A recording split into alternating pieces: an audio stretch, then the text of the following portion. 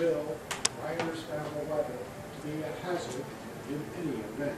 Well, when you're traveling across the central route, you know, it's hot in the summer, especially in the desert areas of uh, Utah, and Nevada.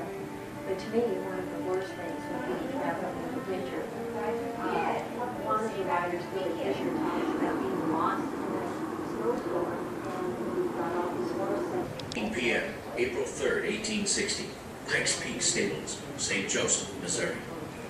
Johnny Fry and his horse Sylph eagerly wait to begin the first ride of the Pony Express. The stable doors are being opened. A cannon is about to signal the ferry on the Missouri River that the rider is on his way. Two hours earlier, there was a ceremony at Patee House, two blocks away. However, the Hannibal St. Joseph, the train bringing the letter mail, was late. While waiting, Johnny Fry returned to the stables to get away from the noisy, enthusiastic crowd. People had been pulling hair from Sylph's tail and mane for souvenirs. It's Cannon, Johnny. Ferry him at the riverbank. It's time to go. Hold the door a minute, Paul. Calm down, Sylph. Calm down. Oh, Seth. Have a gun. Good luck, Johnny. All right, I'm ready. Open the door.